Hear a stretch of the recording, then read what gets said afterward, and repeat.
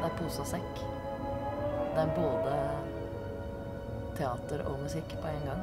På en helt ny og enestående måte. Ja, dette tekststykket er jo en, eh, en veldig moderne og eh, veldig gjenkjennelig kjærlighetsfortelling om et sånt, sånt møte.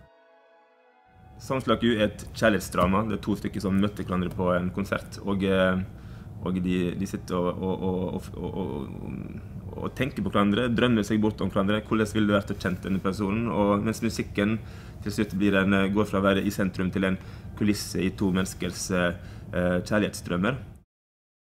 Det er en veldig god tekst med en, en, eh, som både handler om kjærlighet, men som også handler om Eller kanskje mer om lengselen etter kjærlighet, og som også handler om Eksisterer egentlig musikk hvis jeg ikke lytter?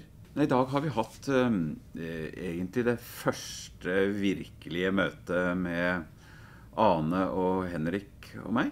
Så har vi rett og slett lest tekst og analysert og begynt å nærme oss dette her. Og uh, si at det, vi gleder oss til det.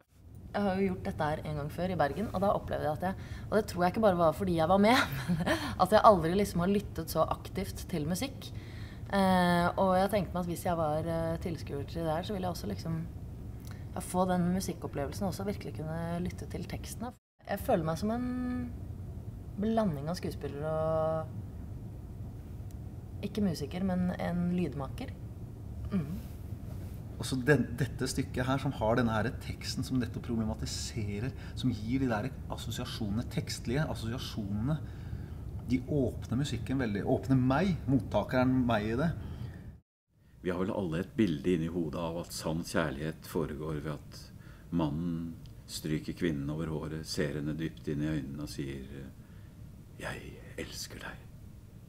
Mens virkeligheten er vel det de, de, fleste kvinner har vel ikke kommet lenger enn du, død, død Jorunn. Ja, jeg, jeg, må si at jeg, ja, jeg er innmari glad i deg.